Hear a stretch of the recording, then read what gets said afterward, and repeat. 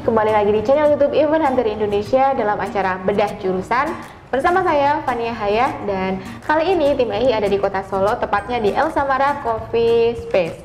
Nah, El Samara Coffee Space ini merupakan gabungan dari coffee shop dan co-working space yang ada di kota Solo. Oke, sebelum lanjut ke video jangan lupa untuk subscribe channel YouTube Event Hunter Indonesia dan aktifkan notifikasi kalian supaya nggak ketinggalan video terbaru dari Event Hunter Indonesia. Dan bersama saya uh, saat ini, Sobat Ehi, sudah ada narasumber bedah jurusan kita. Kita langsung aja kenalan ya. Oke, silahkan Kak. Halo teman-teman, perkenalkan nama saya Mutia Rifat, bisa dipanggil Mutia. Saya mahasiswi Universitas 11 Maret Surakarta, jurusan Sastra Arab, angkatan 2017. Oke, biasa dipanggil Mutia. Oke, Iya. Kak Mutia, ambil sastra Arab ya. Yap, Oke, sekarang berarti semester berapa nih? Semester baru keluar semester 3, naik semester 4. Asli Solo atau dari mana nih? Eh, kelihatannya gimana, Mbak? Iya, nggak kebaca sih. Eh, saya aslinya Palembang. Palembang, Eh, tapi kuliahnya di Solo. Yap. Oke, Kak Mutia, apa sih yang membuat Kak Mutia ini ambil jurusan sastra Arab? Eh, sebenarnya saya sendiri sih, eh, saya apa aku ya? Aku aja lah, Mbak. Oke ya.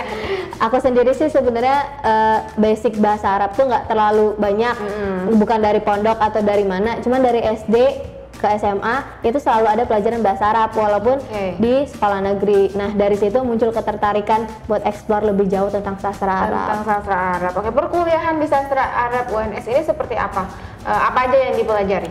Eh, kayak biasa sih kalau semester semester awal sama kayak di kampus-kampus yang lainnya semester semester awal paling kayak cuman pengantar penerjemahan terus nahu sorof tata bahasa itu di awal-awal harus digenjotin banget biar pas di semester akhir mudah gitu loh. Oke, kesulitan dan tantangan seperti apa yang Kak Mutia hadapi eh, di perkuliahan sastra Arab ini?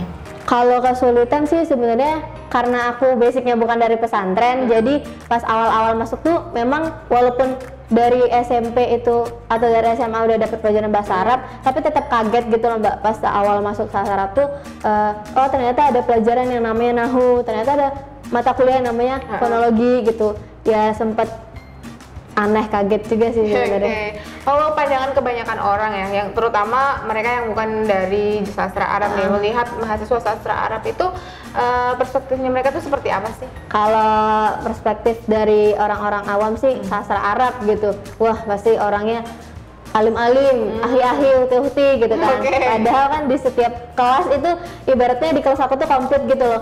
I- yang alim ya ada, yang istilahnya bejat juga ada, tapi nggak nggak semuanya nggak se- macam lah ya. nggak semuanya alim-alim, ahli-ahli, uti-uti gitu enggak, tapi ya ada. Oke, Eh, apa aktivitas atau kesibukan mayoritas mahasiswa sastra Arab nih, terutama di sastra Arab sendiri. Mungkin ada organisasi atau aktivitas yang lebih mendukung eh, perkuliahan di sastra Arab. Eh, kalau aktivitas lain kuliah ya sama aja sih kayak jurusan-jurusan lain.